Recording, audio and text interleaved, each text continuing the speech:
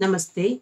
ವಾಸವಿ ಸಾಹಿತ್ಯ ಕಲಾ ವೇದಿಕೆ ಅರ್ಪಿಸುವ ಕನ್ನಡ ಬಲ್ಲವರು ಓದಲೇಬೇಕಾದ ಪುಸ್ತಕಗಳ ಪರಿಚಯಾತ್ಮಕ ಕಾರ್ಯಕ್ರಮದಲ್ಲಿ ಓದುತ್ತಿರುವ ಪುಸ್ತಕ ಮಾಸ್ತಿಯವರ ಸಣ್ಣ ಕಥೆಗಳು, ನೂರ ಎಂಬತ್ತ ಏಳನೆಯ ಸರಣಿ ಕಾರ್ಯಕ್ರಮ, ಓದ್ತಿರುವ ಕತೆ ಪೆನು ಕೊಂಡೆಯ ಕೃಷ್ಣಮೂರ್ತಿ.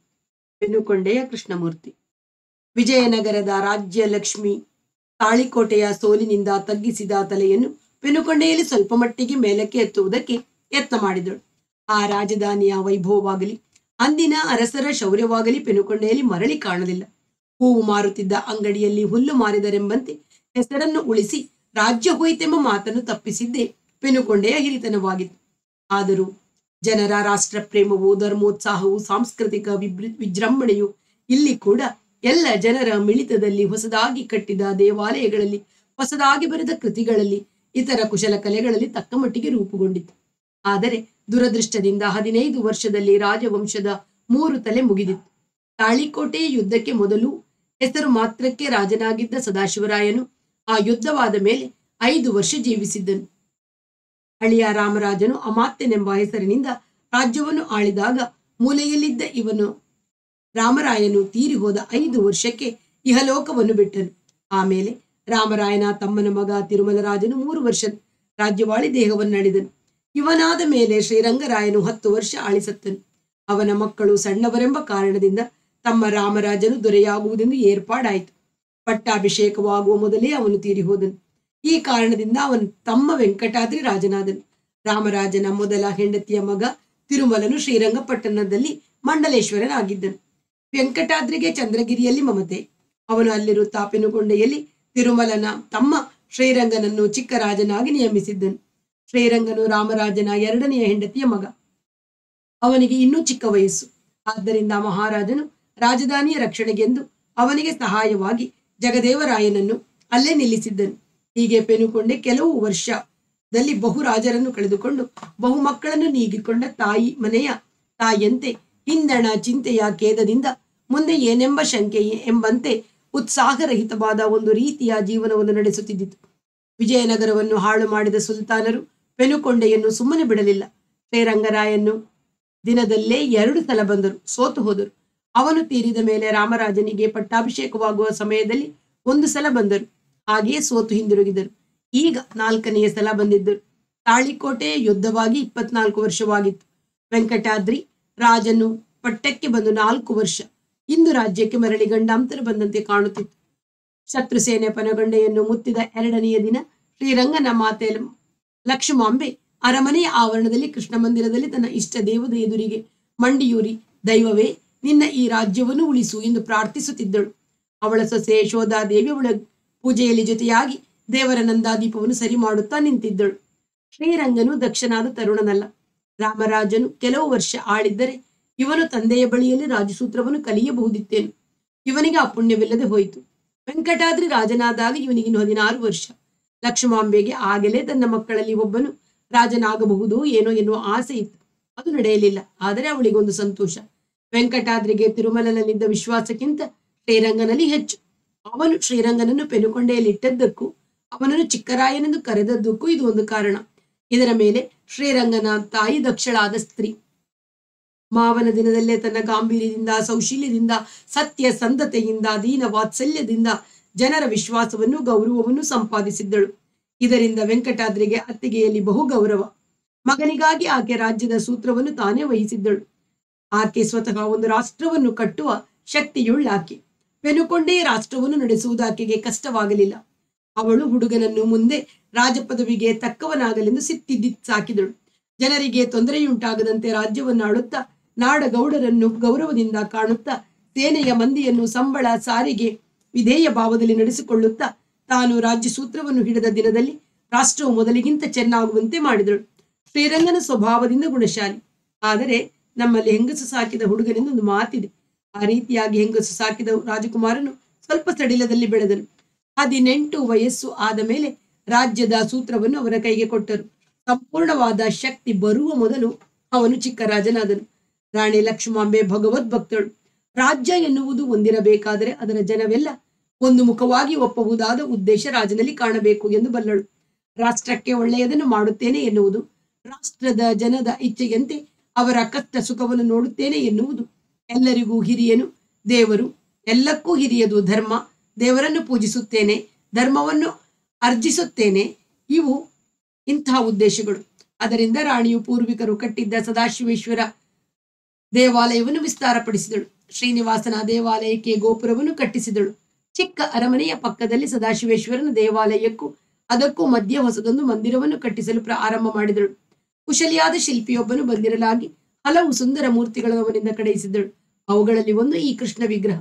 ಇದಕ್ಕಾಗಿ ಆಲಯ ಕಟ್ಟುವವರೆಗೆ ತನ್ನ ವಾಸದ ಗೃಹದ ಅಂಗಳದಲ್ಲಿ ಸಣ್ಣ ಒಂದು ಮಂದಿರವನ್ನು ಮಾಡಿಸಿ ಅದರಲ್ಲಿ ಮೂರ್ತಿಯನ್ನು ನಿಲ್ಲಿಸಿದ್ದಳು. ಅದು ಆಕೆಯ ಇಷ್ಟಮೂರ್ತಿ ಮಗುವಿಗೆ ಒಡವೆಯನ್ನು ಮಾಡಿಸುವ ತಾಯಿಯಂತೆ ಅವಳು ಅದಕ್ಕೆ ಒಂದು ಬಂಗಾರದ ಕೊಳಲನ್ನು ಮಾಡಿಸಿ ಕೈಯಲ್ಲಿರಿಸಿದ್ದಳು. ತನ್ನ ಕೆಲಸ ವ್ಯರ್ಥವಾಗದಂತೆ ನೋಡಿಕೋ ಎಂದು. ಆಕೆ ಈಗ ಮೈ ಮನಗಳಿಂದ ವಂದಿಸಿ ಪಾರ್ ಪ್ರಾರ್ಥಿಸುತ್ತಿದ್ದದ್ದು ಆ ಇಷ್ಟಮೂರ್ತಿಯ ಮುಂದುಗಡೆ. ರಾಣಿ ಮಗನಿಗೆ ಹದಿನೈದನೇ ವಯಸ್ಸಿನಲ್ಲೇ ಮದುವೆ ಮಾಡಿದ್ದಳು. ಆ ಹುಡುಗಿ ಬಾಂಧವ್ಯದ ಹೆಣ್ಣು, ಗುಣವಂತೆ, ರೂಪವಂತೆ. ಒಂದು ರಾಜ್ಯದ ರಾಣಿಯಲ್ಲಿ ಇರಬೇಕಾದರೆ ಏನೋ ಒಂದು ರೀತಿಯ ಹಿರತನವಿರಬೇಕು. ಒಂದು ರಾಜ್ಯದ ರಾಣಿ ಆಗಬೇಕಾದರೆ ಏನೋ ಒಂದು ರೀತಿಯ ಹಿರತನವಿರಬೇಕೆಂದು ಎಲ್ಲಾ ದೇಶದಲ್ಲೂ, ಎಲ್ಲಾ ಕಾಲದಲ್ಲೂ ಜನ ನಿರೀಕ್ಷಿಸುವರು. ಚಿಕ್ಕ ರಾಣಿ ವಯಸ್ಸಿನಲ್ಲಿ ಚಿಕ್ಕವಳಾದರೂ ಸಂಪನ್ನೆ, ಒಳ್ಳೆಯ ಮನೆತನದಲ್ಲಿ ಹುಟ್ಟಿ ಬೆಳೆದವಳು. ಅವಳು ರಾಜನಿಗಿಂತ ಒಂದು ವರ್ಷ ಚಿಕ್ಕವಳು ಮಾತ್ರ. ಮದುವೆಯಾದ ಒಡನೆ ಅರಮನೆಗೆ ಬಂದು ಅತ್ತೆಯ ಬಳಿಯಲ್ಲಿ ಹಿರಿತನವನ್ನು ಕಲಿಯುವುದಕ್ಕೆ ನಿಂತಳು. ತಂದೆ ಇದ್ದಾಗಲೂ ಆಮೇಲೆ ತಾನು ಚಿಕ್ಕ ರಾಜನಾಗುವವರೆಗೂ ಶ್ರೀರಂಗನು ತಕ್ಕ ಮಟ್ಟಿಗೆ ಸರಿಯಾಗಿ ನಡೆದುಕೊಂಡನು. ತಾಯಿ ವಿಷಯದಲ್ಲಿ ಗೌರವದಿಂದಲೂ ಭಯದಿಂದಲೂ ವರ್ತಿಸುತ್ತಾ ಆಡಳಿತದ ವಿವರಗಳಲ್ಲಿ ಅಭಿರುಚಿಯನ್ನು ತೋರಿಸುತ್ತಾ ಮೊದಲಲ್ಲಿ ಒಳ್ಳೆಯವನೆಂಬ ಹೆಸರನ್ನು ಸಂಪಾದಿಸಿಕೊಂಡನು. ಆದರೆ ಅದು ನಿಲ್ಲಲಿಲ್ಲ. ವಿಜಯನಗರದ ಅರಮನೆಯ ವೈಭವದ ಸಂಪ್ರದಾಯದಲ್ಲಿ ರಾಜನಾದವನ ಹತ್ತಿರ ಸುಳಿಯುವ ಹೆಂಗಸರ ಸಂಖ್ಯೆ ಹೆಚ್ಚು. ಈ ಸಂಪ್ರದಾಯ ಕೃಷ್ಣದೇವರಾಯನ ದಿನದಲ್ಲಿ ಬೆಳೆಯಿತು. ಆಮೇಲೆ ಬಂದ ರಾಜರ ದಿನಗಳಲ್ಲಿ ಬಲವಾಗಿ ನಾಟಿತು. ವಿಜಯನಗರ ಹಿರಿದಾಗಿ ಬಾಳಿದ ಕಾಲದಲ್ಲಿ ಅದರ ಐಶ್ವರ್ಯದ ಆಶ್ರಯಕ್ಕೆ ನಾನಾ ದೇಶದ ವಿಲಾಸ ಜೀವಿಗಳು ಬರುತ್ತಿದ್ದರು. ಇದು ಪೆನುಗೊಂಡೆಗೆ ಅಷ್ಟು ಜನ ಬಾರದಿದ್ದರು ದಕ್ಷಿಣ ದೇಶದಿಂದ ಉತ್ತರ ದೇಶದಿಂದ ಇವರ ಪ್ರೋತ್ಸಾಹವನ್ನು ಬೇಡಿ ಗಾಯಕ, ಗಾಯಕಿಯರು, ನರ್ತಕಿ, ವಿಲಾಸಿನಿಯರು ವರುಷ ವರುಷ ಬರುವುದುಂಟು. ಈ ಮನೆತನದಲ್ಲಿ ಚಿಕ್ಕರಾಯನೆಂಬವನು, ಮಂಡಲೇಶ್ವರನೆಂಬ ಅಣ್ಣ ತಮ್ಮ ಚಿಕ್ಕಪ್ಪ ದೊಡ್ಡಪ್ಪನ ಮಗನು ರಾಜರೆಂಬಂತೆಯೇ ನಡೆದುಕೊಳ್ಳುತ್ತಿದ್ದರು. ದಾನ ಕೊಡುವುದು, ಕವಿಗಳನ್ನು ಪೋಷಿಸುವುದು, ಧರ್ಮ ಮಾಡುವುದು, ಇದರಲ್ಲಿ ಚಿಕ್ಕರಾಯನಾದವನಿಗೆ ನ ಕೈಗೆ ಒಂದು ಅಡ್ಡಿ ಇಲ್ಲ. ಹಬ್ಬದಲ್ಲಿ ಗಾಯಕರು, ನರ್ತಕರು ಬಂದರೆ ಅರಸನಾದವನು ಪದ್ಧತಿಯಂತೆ ಗಾಯನವನ್ನು ಕೇಳುವುದು, ನರ್ತನವನ್ನು ನೋಡುವುದು, ಯುಕ್ತವೆಂದು ತೋರಿದ ಸಂಭಾವನೆ ಕೊಡುವುದು ವಾಡಿಕೆ. ಶ್ರೀರಂಗನು ಚಿಕ್ಕರಾಯನಾದ ವರ್ಷ, ಗಾಯಕಿಯರಲ್ಲಿ ಉತ್ತರ ಹಿಂದೂಸ್ತಾನದ ತರುಣಿಯೊಬ್ಬಳು ಬಂದಳು. ಅವಳು ರೂಪವಂತೆ, ಕಲಾವಿದೆ. ರಾಜನನ್ನು ಮೆಚ್ಚಿಸಬೇಕೆಂಬ ಆಶೆಯಿಂದ ಹಾಡಿದಳು. ಮೂರು ವರ್ಷ ಸಂಸಾರದ ಸವಿ ನೋಡಿದ್ದ ತರುಣನಿಗೆ ಈ ಹೆಣ್ಣಿನ ಚೆಲುವಿನಲ್ಲಿ ತನ್ನ ಧರ್ಮಕಾಂತಿಯ ಚೆಲುವು ಕಳೆಗುಂದಿ ಮರೆಯಿತು ಮರೆಯಿತು. ಅವನು ಆ ಗಾಯಕಿ ತನ್ನ ಆಸ್ಥಾನದಲ್ಲಿ ಇರುವಂತೆ ಏರ್ಪಾಡು ಮಾಡಿದನು. ಇಂಥ ಸಂದರ್ಭದಲ್ಲಿ ಪ್ರಭುವಿನ ಚಿತ್ತ ತಿಳಿಯುವುದು ತಡ. ತಿಳಿದರೆ ಅದನ್ನು ನಡೆಸುವುದಕ್ಕೆ ಒಂದು ಬಹುಜನ ಅನುವಾಗುತ್ತಾರೆ. ಗಾಯಕಿ ಇರುವುದಕ್ಕೆ ಒಂದು ಒಳ್ಳೆಯ ಗ್ರಹ ಏರ್ಪಟ್ಟಿತು. ಕೊಂಚ ದಿನದಲ್ಲಿಯೇ ರಾಯನವಳನ್ನು ಉಪಪತ್ನಿಯಾಗಿ ಮಾಡಿಕೊಂಡನು. ಸ್ವಲ್ಪದರಲ್ಲಿಯೇ ಚಿಕ್ಕ ಅರಮನೆಯ ಪಕ್ಕದಲ್ಲಿ ಹೊಸ ದೇವಾಲಯದ ಬಲಗಡೆ ಇದ್ದ ಗಗನ ಮಹಲು ಅವಳ ವಾಸಗೃಹವಾಯಿತು. ಮೊದಮೊದಲು ಶ್ರೀರಂಗನು ಒಂದು ರಾತ್ರಿಯನ್ನು ಅರಮನೆಯಲ್ಲೂ, ಒಂದು ರಾತ್ರಿಯನ್ನು ಗಗನ ಮಹಲಿನಲ್ಲಿ ಕಳೆಯುವುದರಲ್ಲಿ ಮುಗಿಸಿದನು. ಈ ಕಟ್ಟಡವನ್ನು ಅಳಿಯ ರಾಮರಾಯನು ಕಟ್ಟಿಸಿದನು. ಸದಾಶಿವರಾಯನು ತಿರುಮಲರಾಯನು ಅದರಲ್ಲಿ ಮಲಗುತ್ತಿದ್ದರು. ಅವರು ಅದರ ಶಯ್ಯಾಗ್ರಹದ ಗವಾಕ್ಷದಿಂದ ಬೆಳಗಾಗ ಎದ್ದೊಡನೆ ಎದುರಿನ ಶ್ರೀನಿವಾಸ ದೇವಾಲಯದ ಮೂರ್ತಿಯ ದರ್ಶನವನ್ನು ತೆಗೆದುಕೊಳ್ಳುತ್ತಿದ್ದರು. ಇಂದು ಆ ಕಟ್ಟಡದಲ್ಲಿ ವಿಲಾಸಿನಿಯೊಬ್ಬಳು ಪ್ರತಿಷ್ಠಿತಳಾದಳು. ಅವಳ ಮುಖವನ್ನು ನೋಡುವುದು, ನೋಡುವ ಸುಖದಲ್ಲಿ ಚಿಕ್ಕರಾಯನು ಕಿಟಕಿಯಿಂದ ಹೊರಕ್ಕೆ ದೇವರ ಕಡೆಗೆ ದೃಷ್ಟಿ ಹರಿಸುವುದನ್ನು ಮರೆತನು. ಮಗನು ಕೆಟ್ಟದಾರಿಗೆ ಹೋದದ್ದನ್ನು ಕಂಡಾಗ ಲಕ್ಷ್ಮಾಮೆ ಬಹಳ ಕುಗಿದಳು ಹಿರಿಯರ ಮುಂದೆ ತನ್ನ ತಗ್ಗಿಸಿಕೊಳ್ಳುವುದು ಎನ್ನುವುದನ್ನು ಏನೆಂಬುದನ್ನು ತಿಳಿದಳು. ಅವಳು, ಮಗನನ್ನು ಒಂದೆರಡು ಸಲ ಆ ದಾರಿಯನ್ನು ಬಿಟ್ಟು ಬರಬೇಕೆಂದು ಬೇಡಿ ಬೇಡಿಕೊಂಡಳು. ತಾನು ಹುಡುಕಿ ತಂದ ಹೆಣ್ಣು ಮಗುವಿನ ಸಲುವಾಗಿ ಅವನು ಸರಿಯಾಗಿ ನಡೆದುಕೊಳ್ಳುವುದು ಅವಶ್ಯಕವೆಂದು ಅಧಿಕಾರವಾಣಿಯಿಂದ ಹೇಳಿದಳು. ರಾಯನು ಇಂಥ ಸಮಯದಲ್ಲಿ ತಾಯಿಗೆ ಪ್ರತಿ ಹೇಳಲಿಲ್ಲ. ಆದರೆ ತನ್ನ ತಪ್ಪು ದಾರಿಯನ್ನು ಬಿಡಲಿಲ್ಲ. ಹೊಸದರಲ್ಲಿ ಹೆಂಡತಿ ಒಂದು ಸಲ ರಾಯನು ತನ್ನ ಮಾನವನ್ನು ಉಳಿಸಬೇಕೆಂದು ಬೇಡಿಕೊಂಡಳು. ನಾನು ನಿನ್ನ ನಿನ್ನ ಮಾನಕ್ಕೆ ಏನು ಕಡಿಮೆ ಮಾಡಿದೆ? ನನ್ನ ಅರಮನೆಯ ಲಕ್ಷ್ಮಿಯೆಂದು ಪೂಜಿಸುತ್ತಿದ್ದೇನೆ ಎಂದು ಹೇಳಿ ರಾಯನು ಆ ಮಾತನ್ನು ಮುಗಿಸಿದನು. ಲಕ್ಷ್ಮಾಂಬೆಗೆ ಒಂದು ನಿರೀಕ್ಷೆ ಇತ್ತು. ಕೆಲ ದಿನ ಹೀಗೆ ಅಲೆದು ಮರಳಿ ಮಗನು ಒಳ್ಳೆಯ ದಾರಿಗೆ ಬರುತ್ತಾನೆ. ಬಾರದೆ ಉಂಟೆ ಎಂದು ಆಕೆಗೆ ಒಂದು ಧೈರ್ಯ. ಆದರೆ ಮತ್ತೆ ಅಧರ್ಮದ ಹುಸಿ ಮರುಳಿನಲ್ಲಿ ಕಾಲಿಟ್ಟ ಮನುಷ್ಯ ಹೊರಗೇನು ಬಂದಾನು ಎಂಬ ಭಯ. ಹೀಗಾದರೆ ಇವನು ರಾಜನಾಗುವ ಪಾಡುಂಟೆ? ಚಿಕ್ಕ ರಾಜನು ಧರ್ಮಿಷ್ಠನೆಂದರೆ ಅವನು ರಾಜನಾಗಲು ಜನ ಒಪ್ಪುವರು. ಅವನು ಅಯೋಗ್ಯನಾದರೆ ಇವನು ಬೇಡ. ಇನ್ನು ಯಾರಾದರೂ ಬಂದು ಸತ್ಯವಂತನಾಗಿ ನಮ್ಮ ನಮ್ಮನ್ನು ಆಳಲಿ ಎನ್ನುವರು. ಆ ಯೋಚನೆಯಿಂದ ಲಕ್ಷ್ಮಮ್ಮೆ ಬಹಳವಾಗಿ ಬೇಸರಪಟ್ಟಳು, ಭಯಪಟ್ಟಳು. ರಾಜ್ಯದ ಕೇಡು ಹತ್ತಿರಕ್ಕೆ ಬರುತ್ತಿದೆ ಎಂಬ ಭಾವ ದ ಭಾರದಿಂದ ಅವಳ ಮನಸ್ಸು ಕುಗ್ಗಿಯ ಶಾಂತವಾಯಿತು. ಇದು ಎರಡು ವರ್ಷ ಹಿಂದಿನ ಹಿಂದಿನ ಮಾತು. ಅದರಿಂದೀಚೆಗೆ ಶ್ರೀರಂಗನ ಸಂಸಾರ ಸ್ಥಿತಿ ಇನ್ನೂ ಕೆಟ್ಟಿತು ಪೆನುಗೊಂಡೆಯ ಬೆಟ್ಟದ ತಲೆಯಲ್ಲಿ ಹಾಗೆ ದೊಡ್ಡದೊಂದು ಊರೇ ಇತ್ತೆಂದು ಹೇಳಬಹುದು. ಶತ್ರುಗಳು ಎಂದಾದರೂ ಬಂದರೆ ಊರಿನ ಪುಣ್ಯವಂತರು ದನಕನಕವನ್ನು ಹೊತ್ತುಕೊಂಡು ಮೇಲೆ ಇರಬೇಕೆನ್ನುವುದು ಆಗ ವಾಡಿಕೆಯಾದ ಭಾವನೆ. ಅದ್, ಆದ್ದರಿಂದ ಅಲ್ಲಿ ಹಲವರಿಗೆ ಮನೆಗಳಿದ್ದವು. ರಾಜನಿರುವುದಕ್ಕೆ ಅಲ್ಲಿ ಸಣ್ಣದೊಂದು ಅರಮನೆ ಬದಿಯಲ್ಲಿ ದೇವಾಲಯವೂ ಇತ್ತು. ದೇವಾಲಯ ಪಕ್ಕದಲ್ಲಿ ದೊಡ್ಡದಾದ ಆಳವಾದ ಒಂದು ಕೊಳ. ವರ್ಷದಲ್ಲಿ ಒಂದು ರಾತ್ ಒಂದು ದಿನ ನರಸಿಂಹಸ್ವಾಮಿಗೆ ಅಲ್ಲಿ ತೆಪ್ಪೋತ್ಸವ ನಡೆಯುವುದು. ಅಲಕ ಸುಂದರಿ ಬಂದ ಮೇಲೆ ರಾಯನ್ನು ವರ್ಷದಲ್ಲಿ ಎರಡು ಸಲ ಬೆಟ್ಟದ ಮೇಲೆ ಕಾಲ ಕಳೆಯುವನು. ಅವಳಿಗೆ ತೆಪ್ಪದಲ್ಲಿ ಕುಳಿತು ಕೊಳದ ಮೇಲೆ ಓಡಾಡುವುದರಲ್ಲಿ ಬಹಳ ಆಸೆ. ಬೆಟ್ಟದ ಕೆಳಗೆ ದೊಡ್ಡದೊಂದು ಕೆರೆ ಉಂಟು. ಆದರೆ ಅಲ್ಲಿ ರಾಯನು ಅವಳು ತೆಪ್ಪದಲ್ಲಿ ಕುಳಿತು ಓಡಾಡುವುದೆಂದರೆ ಬಹಳ ಜನ ನೋಡಬಹುದು. ಅದು ಅವಳಿಗೆ ಇಷ್ಟವಿಲ್ಲ ಆದ ಕಾರಣ ಇವರು ಬೆಳದಿಂಗಳ ದಿನಗಳಲ್ಲಿ ಬೆಟ್ಟದ ಮೇಲೆ ಇದ್ದು ರಾತ್ರಿಯ ಅರ್ಧವನ್ನು ಕೊಳದ ತೆಪ್ಪದ ಮೇಲೆ ಕಳೆಯುವರು. ಈ ಸಲ ಅಶ್ವೀಜ ಪೂರ್ಣಿಮೆಯಲ್ಲಿ ರಾಜನು ಬೆಟ್ಟದ ಮೇಲಿರುತ್ತ ಕೊಳದ ಮೇಲೆ ತೆಪ್ಪದಲ್ಲಿ ಅಲಕಸುಂದರಿಯ ಗಾನವನ್ನು ಕೇಳುತ್ತಾ ತಾನು ಇಂದ್ರಲೋಕದಲ್ಲಿ ಮಂದಾಕಿನಿಯ ತೆರೆಯಲ್ಲಿ ರಂಭೆಯೊಡನೆ ವಿಹರಿಸುತ್ತಿರುವ ದೇವೇಂದ್ರನೋ ಎಂದು ಭ್ರಮೆಗೊಂಡನು. ಜೀವನವು ಅವನಿಗೆ ಬಹು ಸುಂದರವಾಗಿ, ಬಹು ಸುಖಮಯವಾಗಿ ತೋರಿತು. ಗಗನ ಮಹಲಿನಿಂದ ದೇವರು ಕಾಣದೆ ಹೋದಂತೆ ಇವನಿಗೆ ಬೆಟ್ಟದ ತಲೆಯಿಂದ ರಾಷ್ಟ್ರ ಕಾಣದೆ ಹೋಯಿತು. ಆ ಸಮಯದಲ್ಲಿ ಬಿಜಾಪುರದ ಮುಸಲ್ಮಾನರು ಪೆನುಗೊಂಡೆಯ ಮೇಲೆ ದಂಡೆತ್ತಿ ಬರುವರೆಂದು ಮಾತು ಹುಟ್ಟಿತು. ಊರ ಜನ ಬಹಳ ಭಯಪಟ್ಟರು. ಜಗದೇವರಾಯನು ರಾಷ್ಟ್ರದ ಪಾಳೆಯಗಾರರಿಗೆ ಹೇಳಿ ಕಳುಹಿಸಿ ಎಚ್ಚರಿಕೆಯಿಂದ ಇರುವಂತೆ ಏರ್ಪಾಡು ಮಾಡಿದನು. ತನ್ನ ದಳಗಳ ವ್ಯವಸ್ಥೆಯನ್ನು ಪುನಃ ನೋಡಿ ಅಲ್ಲಲ್ಲಿ ಪಡೆಗಳನ್ನು ನಿಲ್ಲಿಸಿ ಯುದ್ಧದ ವಿಷಯದಲ್ಲಿ ಸಜ್ಜಾಗಿ ಇದ್ದನು. ರಾಜನ ಈ ವಿಷಯದಲ್ಲಿ ಸಾಕಾದಷ್ಟು ಶ್ರದ್ಧೆ ತೋರಲಿಲ್ಲ. ಹದಿನೈದು ದಿವಸದಲ್ಲಿ ಶತ್ರು ಸೇನೆ ಬರುತ್ತದೆ ಎಂದು ವರ್ತಮಾನ ತಿಳಿಯಿತು. ಅದಾದ ಕೆಲವು ದಿವಸದಲ್ಲಿ ಶತ್ರುಗಳು ದಾರಿಯ ಎರಡು ಪಾಳೆಯದವರನ್ನು ಸೋಲಿಸಿ ಪೆನುಗೊಂಡೆಗೆ ಎರಡು ಹರದಾರಿ ದೂರದ ಹಳ್ಳಿಯಲ್ಲಿ ತಂಗಿದರು. ಜಗದೇವರಾಯನು ತಾನೇ ಮುಂದೆ ಹೋಗಿ ಶತ್ರುವಿನೊಂದಿಗೆ ಯುದ್ಧ ಮಾಡಬಹುದಾಗಿತ್ತು.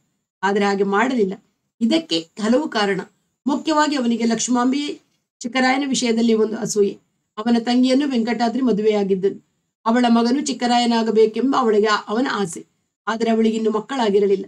ಆ ಮೊದಲೇ ಶ್ರೀರಂಗನು ಚಿಕ್ಕರಾಜನೆನಿಸಿಕೊಂಡನು. ಇದಾದ ಮೇಲೆ ಜಗದೇವನು ತನ್ನ ಮಗಳನ್ನು ಇವನಿಗೆ ಕೊಡಬೇಕೆಂದು ಯೋಚಿಸಿದನು. ಲಕ್ಷ್ಮಾಂಬೆ ಕಡ್ಡಿ ಬಂದಳು. ಜಗದೇವನಿಗೆ ತನ್ನ ಮನೆಯವರು ಆಳ್ವಿಕೆಗೆ ಬರಬೇಕೆಂದು ಒಂದು ಅಪೇಕ್ಷೆ. ಅದಕ್ಕೆ ಇವರೆಲ್ಲ ಅಡ್ಡಿಯಾಗಿದ್ದರು. ಚಿಕ್ಕರಾಯನ ಯೋಗ್ಯತೆ ರಾಜನಿಗೆ ತಿಳಿಯಲಿ ಎಂದೇ ಇವನಿಗೆ ಒಂದು ಉದ್ದೇಶ. ಕೊನೆಗೆ ಶತ್ರುವನ್ನು ಸೋಲಿಸುವೆನೆಂಬ ಧೈರ್ಯವೇನೋ ಉಂಟು. ಮಧ್ಯೆ ಏನಾಗುವುದೋ ನೋಡೋಣ ಎಂದು ಸುಮ್ಮನಿದ್ದನು. ಹೀಗೆ ರಾಜನ ವಿವೇಕದಿಂದಲೂ ಸೇನಾಧಿ, ಸೇನಾಪತಿಯ ಶ್ರದ್ಧೆಯಿಂದಲೂ ದೂರದಲ್ಲಿದ್ದ ಶತ್ರು ಸೇನೆ ನಿರಾಯಾಸವಾಗಿ ರಾಜಧಾನಿಯ ಹತ್ತಿರ ಸೇರಿತು. ರಾಯನ ಅಭಿಪ್ರಾಯವೇನಿರಬಹುದೆಂದು ಯಾರಿಗೂ ತಿಳಿಯದು. ಸುಖ ಲಾಲಸೆಯಿಂದ ಅವನಿಗೆ ಈ ವಿಚಾರದಲ್ಲಿ ತಕ್ಕಷ್ಟು ಯೋಚನೆ ಹರಿಯಲಿಲ್ಲವೆಂದು ತೋರುತ್ತದೆ. ಬಂದಿದ್ದ ಸೇನೆಯೇನು ಅಷ್ಟು ದೊಡ್ಡದಲ್ಲ. ಆದರೆ ಅದನ್ನು ರಾಜಧಾನಿಗಷ್ಟು ಹತ್ತಿರದವರೆಗೆ ಬಿಟ್ಟದ್ದು ಅವಿವೇಕವಾಯಿತು ಎಂದು ರಾಜ ಮನಗಾಣಲಿಲ್ಲ. ಶತ್ರು ಪೆರಕೊಂಡೆಯ ಬಳಿ ಪಾಳೆಯ ಹಾಕಿದ ಮಾರನೆಯ ಬೆಳಿಗ್ಗೆ ಅವನು ಬೆಟ್ಟದಿಂದ ಇಳಿದನು. ಸೇನೆ ಸಿದ್ಧವಾಗಿರಲಿ, ಇಂದು ತಪ್ಪಿದರೆ ನಾಳೆ ಯುದ್ಧಕ್ಕೆ ಹೋಗೋಣ ಎಂದು ಅಪ್ಪಣೆ ಮಾಡಿದನು. ಅರಮನೆಗೆ ಬಂದು ತಾಯಿ ಹೆಂಡತಿ ಇಬ್ಬರು ಬೆಟ್ಟದ ಮೇಲಕ್ಕೆ ಹೋಗಬೇಕೆಂದು ಹೇಳಿದನು. ಲಕ್ಷ್ಮಾಂಬೆ ನಿಷ್ಠೂರವಾಗಿ ಹೇಳಿದಳು. ದೊಡ್ಡವರು ಆಳಿದ ರಾಜ್ಯ. ಅದನ್ನು ಉಳಿಸಿಕೊಳ್ಳಬೇಕಾದರೆ ಪುಣ್ಯವಿರಬೇಕು. ರಾಜಧಾನಿಯಲ್ಲಿರುತ್ತಾ ಶತ್ರು ಸೇನೆ ಎರಡು ಹರದಾರಿ ಬರುವಂತೆ ಬಿಟ್ಟದ್ದು ತಪ್ಪು. ಊರ ಜನ ರಾಜನನ್ನು ನಂಬಿ ಇಲ್ಲಿ ಸೇರಿದ್ದಾರೆ. ಆಸ್ತಿ ಪಾಸ್ತಿಗಳನ್ನು ಅವನ ನೆರಳಿನಲ್ಲಿ ಹಾಕಿದ್ದಾರೆ. ತನ್ನ ಹೊಣೆಗೆ ಎಂಥದ್ದೆಂದು ತಿಳಿಯದೆ ರಾಜನು ಸುಖದಲ್ಲಿ ಕಾಲದಲ್ಲಿ ಕಳೆದರೆ ಊರಿಗೇನು ಗತಿ ರಾಜ್ಯಕ್ಕೇನು ಗತಿ ತಾನು ಬೆಟ್ಟದ ಮೇಲೆ ಹೋಗುವುದಿಲ್ಲ.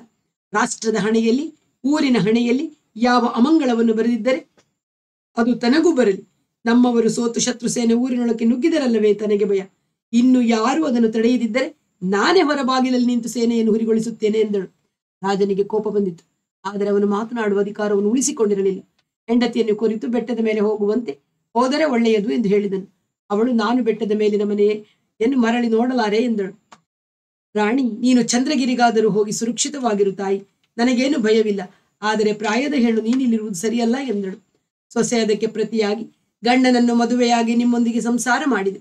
ಕೊನೆಗೂ ನಿಮ್ಮೊಂದಿಗೆ ಇದ್ದು ಬಿಡುತ್ತೇನೆ. ಏನಾದರೂ ಕೆಟ್ಟದ್ದಾಗುವುದಾದರೆ ದೇಹವನ್ನು ಬಿಡುವುದಕ್ಕೆ ದಾರಿ ಇಲ್ಲವೇ?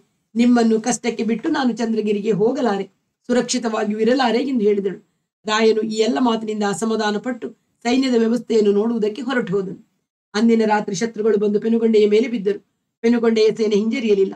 ಜಗದೇವರಾಯನು ಅಸಾಧಾರಣವಾದ ಶೌರ್ಯದಿಂದ ಕದನ ಮಾಡಿದನು. ಶ್ರೀರಂಗನು ಅವನೊಡನೆ ಸೇರಿ ಸೈನ್ಯವನ್ನು ಹುರಿಗೊಳಿಸಿದನು. ಸೇನಾಧಿಪತಿಯು ಚಿಕ್ಕರಾಜನ ಧೈರ್ಯವನ್ನು, ಉತ್ಸಾಹವನ್ನು ನೋಡಿ ಆಶ್ಚರ್ಯಗೊಂಡನು. ಅವನು ನಿಜವಾಗಿ ಯೋಧನು. ಆದ್ದರಿಂದ ಶ್ರೀರಂಗನ ಶೌರ್ಯವನ್ನು ಮೆಚ್ಚಿದನು. ಅಸೂಯೆ ಇದ್ದರೂ ಇವನಿಗೆ ರಾಯನ ವಿಷಯದಲ್ಲಿ ಗೌರವ ಹುಟ್ಟಿತು. ತನ್ನ ರಾಜನಿಗೆ ಏನಾದರೂ ತೊಂದರೆಯಾದೀತೆಂದು ಅವನಿಗೆ ಭಯವಾಯಿತು. ಹಲವು ಸಲ ಅವನು ಶ್ರೀರಂಗನನ್ನು ಕುರಿತು, ಸ್ವಾಮಿಯರು ಯುದ್ಧದ ಮಧ್ಯಕ್ಕೆ ನಿಲ್ಲುವುದು ಸರಿಯಲ್ಲ, ನಾವು ನೋಡಿಕೊಳ್ಳುತ್ತೇನೆ ಎಂದು ಬೇಡಿಕೊಂಡನು. ಚಿಕ್ಕರಾಯನು ಒಪ್ಪಲಿಲ್ಲ. ಅಂದು ಶತ್ರುಗಳು ಹಿಮ್ಮೆಟ್ಟಿದರು. ಮಾರನೇ ರಾತ್ರಿ ಪುನಃ ಬಂದರು. ಮತ್ತೆ ಹಾಗೆಯೇ ಯುದ್ಧ. ಯುದ್ಧದಷ್ಟೇ ಮಾತಾಗಿದ್ದರೆ ಪೆನುಗೊಂಡೆಗೆ ಅಂದು ಭಯವಿರಲಿಲ್ಲ. ಆದರೆ ಶತ್ರುಗಳು ಪಿತೂರಿಯಿಂದ ಕೆರೆಯ ಕಡೆಯ ದಿಡ್ಡಿ ಬಾಗಿಲ ಕಾವಲರನ್ನು ಒಳಗೆ ಹಾಕಿಕೊಂಡಿದ್ದರು. ಆ ಕಡೆಗೆ ಕೆಲವು ಜನ ಓಡಿ ಹೋಗಿ ಗೋಡೆಯನ್ನೇರಿ ಊರೊಳಕ್ಕೆ ಇಳಿದು ದೀನ್ ದೀನ್ ಎಂದು ಓಡಿಯಾಡಿ ಪೇಟೆಯಲ್ಲಿ ಭಯವನ್ನು ಹುಟ್ಟಿಸಿ ನುಗ್ಗಿ ಬಂದರು. ಕೋಟೆಯ ದೊಡ್ಡ ಬಾಗಿಲನ್ನು ತೆಗೆದು ಪೆನುಗೊಂಡೆಯ ಸೈನ್ಯ ಹಿಂದುಗಡೆಯಿಂದ ಕಡಿಯುವುದಕ್ಕೆ ಆರಂಭ ಮಾಡಿದರು.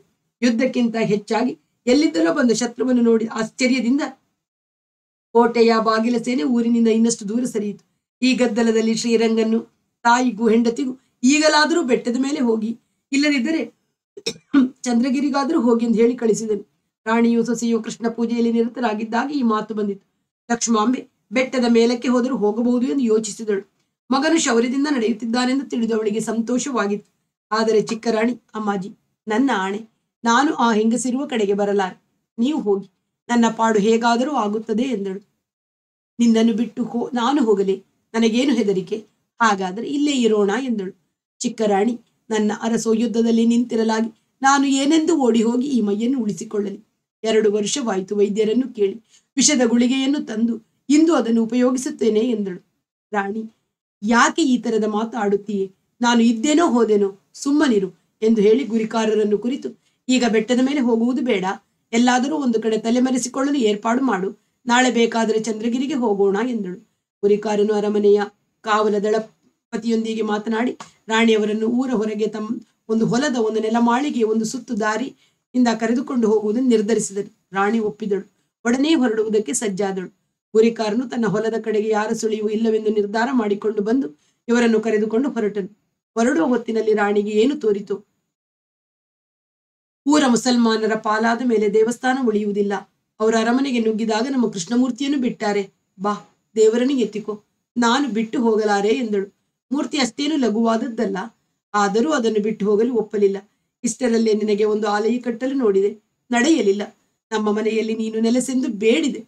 ಇನ್ನು ನಾನು ಈ ಮನೆಯನ್ನು ಬಿಟ್ಟು ಹೋಗುವ ಕಾಲ ಬಂದಿದೆ. ನಾನು ಎಲ್ಲಿದ್ದರೆ ಅಲ್ಲಿ ಇರು. ನನ್ನನ್ನು ಕಾಪಾಡು ಎಂದು ಅದರೊಂದಿಗೆ ಮರಳಿ ಮಂಡಿಯೂರಿ ಬೇಡಿದಳು ಎದ್ದು ಆ ಮೂರ್ತಿಯನ್ನು ಎತ್ತಿಕೊಂಡು ಹೊರಟಳು. ಈ ವೇಳೆಗೆ ಊರಿನಲ್ಲಿ ಕೋಲಾಹಲ ಹೆಚ್ಚಾಗಿತ್ತು. ಯುದ್ಧವೇನಾಯಿತೆಂದು ಬೇಗಿನ ಜನ ಹೇಳುವುದು ನಿಂತು ಹೋಗಿತ್ತು. ರಾಣಿಯರಿಬ್ಬರು ಕೃಷ್ಣಮೂರ್ತಿಯ ಸಮೇತ ತ್ವರೆಯಿಂದ ಊರನ್ನು ಬಿಟ್ಟರು. ಸ್ವಲ್ಪ ಕಾಲದಲ್ಲಿ ಗುರಿಕಾರನ ಹೊಲದ ನೆಲಮಾಳಿಗೆಯನ್ನು ಸೇರಿದರು. ಇರುಳು ನೆರೆದಂತೆ ಯುದ್ಧದ ಕೋಹ, ಕೋಲಾಹಲ ಮುಗಿಲು ಮುಟ್ಟಿತು ಶತ್ರು ಸೇನೆ ಊರೊಳಗೆ ಎಲ್ಲ ಕಡೆಯೂ ಓಡಿಯಾಡುವುದಕ್ಕೆ ಮೊದಲಾಯಿತು. ರಾಯನು ಕೋಟೆಯ ಬಾಗಿಲ ಬಳಿ ಇನ್ನೂ ಕಾದುತ್ತಲೇ ಇರಲು ಜಗದೇವರಾಯನು ಬಂದು, ತಾವು ಖಂಡಿತ ಇನ್ನು ಇಲ್ಲಿ ಇರಕೂಡದು ಎಂದು ಹಠ ಮಾಡಿ ಅವನನ್ನು ಒಂದು ಕುದುರೆಯ ಮೇಲೆ ಕೂರಿಸಿ ಅರಮನೆಯ ಕಡೆಗೆ ತಿರುಗಿಸಿ, ಇಲ್ಲಿ ನಾನು ನೋಡಿಕೊಳ್ಳುತ್ತೇನೆ. ಮಹಾಸ್ವಾಮಿ ರಾಜಕುಟುಂಬದೊಡನೆ ಈಗಲೇ ಬೆಟ್ಟದ ಮೇಲೆ ಹೋಗಬೇಕು ಎಂದು ಹೇಳಿ ಜೊತೆಗೆ ಒಬ್ಬ ಸವಾರನನ್ನು ಕಳುಹಿದನು. ಚಿಕ್ಕರಾಯನು ತಪ್ಪನ್ನು ದೊಡ್ಡದೆನಿಸುವುದಕ್ಕೆ ತಾನು ಮಾಡಿದ ಆಲಸ್ಯದಿಂದ ಈಗ ರಾಷ್ಟ್ರಕ್ಕೆ ಹಾನಿ ತಟ್ಟಿತು. ಇದು ತಿಳಿದರೆ ವೆಂಕಟಾದ್ರಿ ರಾಯನು ತನ್ನನ್ನು ದಂಡಿಸಿಯಾನು ಎಂದವನಿಗೆ ತೋರಿತು. ಆದ್ದರಿಂದ ಅವನು ಚಿಕ್ಕರಾಯನನ್ನು ಅವನ ಕುಟುಂಬವನ್ನು ಉಳಿಸುವುದು ಅವಶ್ಯಕವೆಂದು ನಿರ್ಧರಿಸಿದನು. ಅವನನ್ನು ಅತ್ತ ಕಳುಹಿಸಿ ಇತ್ತ ತನ್ನ ಸೇನೆಯನ್ನು ನಾಲ್ಕು ಕಡೆಗೂ ಹರಡಿ ಬಲವಾಗಿ ಕಾದಿದ್ದನು. ರಾಯನು ಬೇಗ ಬೇಗ ನೆರಮನೆಗೆ ಬಂದನು. ಕುದುರೆಯಿಂದ ಇಳಿದು ಚಿಕ್ಕರಾಣಿಯ ತೊಟ್ಟಿಯ ಕಡೆಗೆ ಹೊರಟನು. ಅವನನ್ನು ಕಂಡ ಸೇವಕರು, ರಾಣಿಯರಿಬ್ಬರು ಎಲ್ಲಿಗೋ ಹೋದರೆಂದು ಎಂದರು. ಎಲ್ಲಿಗೆ ಹೋದರೂ ಅವರು ಕಾಣರು. ದಳಪತಿ ಬಲ್ಲನು. ಆದರೆ ಅವನು ಆಗ ಅಲ್ಲಿರಲಿಲ್ಲ ಸೇವಕನು ತೋರಿಸಿದ ದಿಕ್ಕಿನಿಂದ ರಾವಣಿಯರು ಹೋಗಿ ಎಲ್ಲಿ ಹೋಗಿರಬಹುದು ಎಂದು ಊಹಿಸುವುದಕ್ಕಾಗಲಿಲ್ಲ. ಬೆಟ್ಟದ ಮೇಲಕ್ಕೆ ಹೋಗಿರಬಹುದೇ? ಹೋಗಿರಬಹುದು ಮಹಾಸ್ವಾಮಿ. ಜನಕ್ಕೆ ತೋರದೇ ಇರಲಿ ಅಂತ ಹೀಗೆ ಹೋಗಿರಬಹುದು. ಕೋಟೆಯ ಬಾಗಿಲ ಬಳಿ ಗದ್ದಲ ಹೆಚ್ಚಾಯಿತು. ಸವಾರನೊಬ್ಬ ಬಂದು, ಸೇನಾಧಿಪತಿ ಅರಸನನ್ನು ಕಾಪಾಡಿಕೊಳ್ಳಿ ಎಂದು ಹೇಳಿ ಕಳುಹಿಸಿದ್ದಾರೆ ಎಂದನು. ರಾಯನಿಗೆ ಏನು ಮಾಡಬೇಕೆಂದು ತೋರಲಿಲ್ಲ. ತಾಯಿಯು ಪತ್ನಿಯು ಮೇಲಕ್ಕೆ ಹೋಗಿರಬೇಕು ಎಂದು ಅವನು ಎಣಿಸಿಕೊಂಡು ಒಡನೆಯೇ ಬೆಟ್ಟದ ಮೇಲಕ್ಕೆ ಏರಲು ಹೊರಟನು. ಬೆನ್ನುಕೊಂಡೆ ಅಂದು ಶತ್ರುಗಳ ಪಾಲಾಯಿತು ಎಂಬಂತೆ ಇತ್ತು. ಹಾಗೆ ಊರೊಳಗೆ ನುಗ್ಗಿ ಜನವನ್ನು ಹೆದರಿಸಿ ಅರಮನೆಯನ್ನು ಆಕ್ರಮಿಸಿಕೊಂಡಿತು. ಬಿಜಾಪುರದ ಸೇನೆ ಗೆದ್ದನೆಂಬ ಹುಮ್ಮಸ್ಸಿನಲ್ಲಿ ಅನೇಕ ಅತ್ಯಾಚಾರಗಳನ್ನು ನಡೆಸಿತು. ಒಂದು ದಳ ಸದಾಶಿವ ದೇವಾಲಯಕ್ಕೆ ನುಗ್ಗಿತು. ಇನ್ನೊಂದು ಗುಂಪು ಶ್ರೀನಿವಾಸನ ದೇವಾಲಯವನ್ನು ಪ್ರವೇಶಿಸಿತು. ಬೆಳಗಾಗುವ ಹೊತ್ತಿಗೆ ಪೆನುಗೊಂಡೆ ಬಿಜಾಪುರದ ಸುಲ್ತಾನ ಒಂದು ಪಾಳೆಯದ ಪಟ್ಟಣವೇ ಆಗಬೇಕು.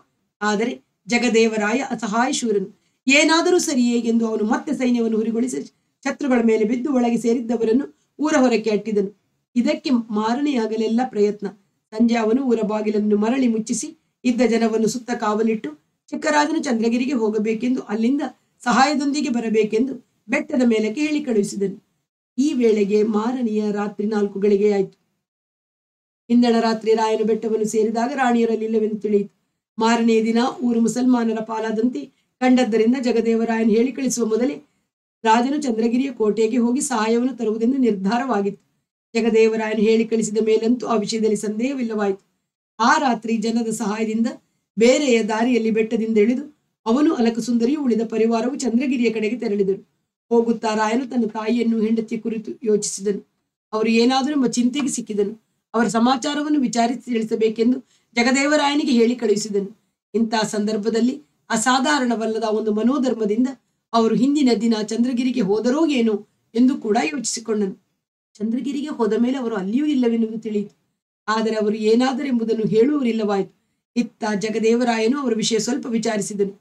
ಬಹಳ ವಿಚಾರಿಸುವುದಕ್ಕೆ ಅವನಿಗೆ ಆಗಲಿಲ್ಲ ಅವರು ಗುರಿಕಾರನ ಹೊಲಕ್ಕೆ ಹೋದರು ಎನ್ನುವುದನ್ನು ಬಲ್ಲ ದಳಪತಿ ಆ ಗುರಿಕಾರನ ಹೆಸರನ್ನು ಕಾಣನು. ಆದರೂ ತಿಳಿದರು ಆ ಹೊಲ ಯಾವುದೋ ಒಂದು ಮಾಳಿಗೆಯಲ್ಲಿಯೋ ಯಾರಿಗೆ ತಿಳಿಯಬೇಕು? ಕೆಲವು ದಿನದ ಮೇಲೆ ಅವರು ಒಂದು ನೆಲಮಾಳಿಗೆ ಹೋದರೆನ್ನುವುದು ಮಾತು ಎಲ್ಲರ ಕಡೆಯೂ ಕೇಳಿ ಬಂತು. ಆದರೆ ಅದರ ಗುರುತು ಯಾರಿಗೂ ಸಿಕ್ಕಲಿಲ್ಲ. ಚಂದ್ರಗಿರಿಯಿಂದ ಸಹಾಯ ಬಂದು ಶಸ್ತ್ರ ಸೇನೆಯನ್ನು ಹೊಡೆದಟ್ಟುವುದು ಹದಿನೈದು ದಿನವಾಯಿತು. ಆ ವೇಳೆಗೆ ಇವರು ಹೋದ ದಾರಿಯ ಗುರುತು ಕೈಸಿಗೆ ಸಿಕ್ಕದಂತಾಯಿತು. ರಾಣಿಯು, ಸೊಸೆಯು, ಏನಾದರು. ಯುದ್ಧದ ಆ ರಾತ್ರಿ ಶತ್ರುಗಳ ಕೈಯಿಂದ ತಪ್ಪಿಸಿಕೊಳ್ಳುವುದಕ್ಕೆ ಆಶ್ರಯ ಕೊಟ್ಟ ಆ ನೆಲಮಾಳಿಗೆ ಲಕ್ಷ್ಮಾಂಬೆಗೂ ಅವಳ ಸೊಸೆಗೂ ಸಮಾಧಿ ಆಯಿತು ಮಾರನೇ ಹಗಲು ಅಲ್ಲಿದ್ದು ರಾತ್ರಿ ಹೊರಟು ಬರುವುದು ಅವರ ಉದ್ದೇಶ, ಗುರಿಕಾರನ ಉದ್ದೇಶ. ಇವರ ನೆಲಮಾಳಿಗೆಯ ಬಾಗಿಲಿಂದ ಹೊರಗೆ ಬಂದರೆ ಅದು ಬಂದರೆ ಒಂದು ಮಂಟಪ. ಹೊರಗಿನಿಂದ ನೋಡುವವರಿಗೆ ಅದು ಬರಿಯ ಮಂಟಪವೆಂದು ಕಾಣುವುದು. ಕತ್ತಲಾದ ಒಡನೆ ಗುರಿಕಾರ ಹೋಗಿ ಊರ ಸುದ್ದಿಯನ್ನು ತಿಳಿದು ತರುವುದು ಆಮೇಲೆ ತಾವು ಏನು ಮಾಡುವುದೆಂದು ನಿರ್ಧರಿಸುವುದೆಂದು ಲಕ್ಷ್ಮಾಂಬಿ ಯೋಚಿಸಿದ್ದಳು. ಆದರೆ ಆ ಸಂಜೆ ವೇಳೆಗೆ ಕೋಟೆಯಿಂದ ಹಿಮ್ಮಟ್ಟಿದ ಶತ್ರು ಸೇನೆ ಕೆರೆಗೆ ಸಮೀಪವಾಗಿದೆ ಎಂಬ ಕಾರಣದಿಂದ ಆ ಹೊಲದ ಮೇಲೆ ಪಾಳೆಯ ಮಾಡಿತು ಅದರಲ್ಲಿ ಕೆಲ ಜನರು ಮಂಟಪದಲ್ಲಿ ಕುಳಿತು ಹುಕ್ಕ ಸೇದುತ್ತಾ, ಹೆಂಡ ಕುಡಿಯುತ್ತಾ, ಸಿಕ್ಕಾಪಟ್ಟೆ ನಗುತ್ತಾ, ಕೂಗುತ್ತಾ ಇದ್ದರು. ಗುರಿಕಾರರು ಹೊರಗೆ ಹೊರಡುವುದಕ್ಕೆ ಆಗಲಿಲ್ಲ. ಹದಿನೈದು ದಿನ ಪಾಳೆಯ ಅಲ್ಲಿಯೇ ಇದ್ದು ಬಿಟ್ಟು ಒಳಗೆ ಲಕ್ಷ್ಮಾಂಬೆಯು, ಅವಳ ಸೊಸೆಯು, ಅವರ ರಕ್ಷಣೆಗೆ ಹೋದ ಗುರಿಕಾರನು ಹಸಿವು ದಾಹದಿಂದಲೂ, ವಿಷದ ಸಹಾಯದಿಂದಲೂ ಜೀವವನ್ನು ಬಿಟ್ಟರು. ಜಗದೇವರಾಯನು ಪೆನುಕೊಂಡೇನು ಉಳಿಸಿದನು. ಶ್ರೀರಂಗನು ಮರಳಿ ಅಲ್ಲಿಗೆ ಚಿಕ್ಕರಾಯನಾಗಿ ಬಂದನು. ಆದರೆ ರಾಣಿಯರಿಗೆ ಏನಾಯಿತೆಂದು ಯಾರಿಗೂ ತಿಳಿಯಲಿಲ್ಲ.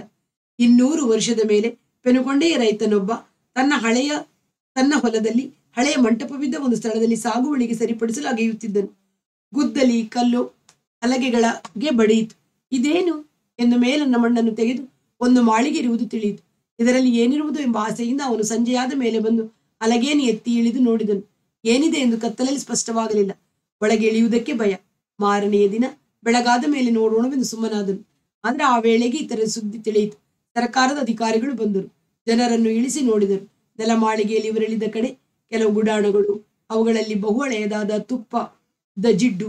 ಅದರ ಎದುರುಗಡೆ ಗೋಡೆಗೆ ಒರಗಿಸಿದ ಒಂದು ಕೃಷ್ಣ ವಿಗ್ರಹ ಇಷ್ಟು ಕಂಡವು ಆ ವಿಗ್ರಹದ ಕೈಯಲ್ಲಿ ಒಂದು ಬಂಗಾರದ ಕೊಳಲಿತ್ತೆಂದು ಹೇಳುತ್ತಾರೆ. ಅದರ ಕಾಲಿನ ಹತ್ತಿರ ಉದ್ದಕ್ಕೂ ಎರಡು ಮೊಳೆಗಳ ಸಾಲು. ಎರಡು ತಲೆಬುರುಡೆಯ ಚಿಪ್ಪುಗಳು ಇದ್ದವು ಸ್ವಲ್ಪ ದೂರದಲ್ಲಿ ಇನ್ನೊಂದು ಗೋಡೆಯನ್ನು ಒತ್ತಿಗೆ ಮೂಳೆಗಳದಷ್ಟು ರಾಶಿ. ಈ ಕೃಷ್ಣ ವಿಗ್ರಹ ಬಲು ಸುಂದರವಾದೆಂದು ಕಲಾವಿಜ್ಞರು ಅಭಿಪ್ರಾಯಪಟ್ಟರಂತೆ. ಸಾಮಾನ್ಯರಿಗೂ ಅದು ಚೆನ್ನಾಗಿದೆ ಎಂದು ತೋರಿತು. ಪೂಜೆ ಇಲ್ಲದ ಇಂತಹ ವಿಗ್ರಹಗಳು ಸಿಕ್ಕುವುದು ಕಲಾ ಸಂಶೋಧನಾ ಕಾರ್ಯಕ್ರಮಕ್ಕೆ ಬಹಳ ಅನುಕೂಲ. ಸರ್ಕಾರದವರು ಈ ಮೂರ್ತಿ ಈ ಮೂರ್ತಿಯನ್ನು ಪ್ರಾಚ್ಯ ಕಲಾ ಮಂದಿರದ ವಿಚಿತ್ರ ವಸ್ತುಗಳ ಶಾಖೆಗೆ ಕಳುಹಿಸಿಕೊಟ್ಟರು. ಆ ಮೂಳೆಗಳು ಯಾವ ಯುಗದವು ಎಂದು ಬೇಕಾದರೆ ನೋಡಬಹುದು ಎಂದು ವೈದ್ಯಶಾಸ್ತ್ರದ ವಿದ್ಯಾಲಯಕ್ಕೆ ಕಳುಹಿಸಿದರು. ಅಲ್ಲಿಯ ಪಂಡಿತರು ಆ ಮೂಳೆಗಳನ್ನು ನೋಡಿ, ಈ ಯುಗಕ್ಕೆ ಸೇರಿದವೇ ಎರಡು ಹೆಣ್ಣು ದೇವದವು ಒಂದು ಗಂಡು ದೇವದವು ಎಂದು ಹೇಳಿ ಅದನ್, ಅವನ್ನು ಮಂಚಿಗೆಯಲ್ಲಿ ಇರಿಸಿದರು? ಕೃಷ್ಣ ವಿಗ್ರಹ ಈಗಲೂ ಆ ವಿಚಿತ್ರ ವಸ್ತು ಶಾಖೆಯಲ್ಲಿದೆ. ಮೂಳೆಗಳು ಇರಬಹುದು, ಆದರೆ ಅವು ಸಿಕ್ಕಿದ ಸಂದರ್ಭ ಬಹು ದಿನದ ಮಾತಾದ್ದರಿಂದ ಅವುಗಳ ವಿವರವನ್ನು ಈಗ ಯಾರು ನೆನೆಯುವುದಿಲ್ಲ. ಮುಂದಿನ ಕಥೆಯನ್ನು ಮುಂದಿನ ವಾರ ಕೇಳೋಣ. ಅಲ್ಲಿಯವರೆಗೆ ಎಲ್ಲರಿಗೂ ಪ್ರೀತಿಯ ನಮಸ್ಕಾರ. ಬಸವಿ ಸಾಹಿತ್ಯ ಕಲಾ ವೇದಿಕೆ ಸುಳ್ಯ.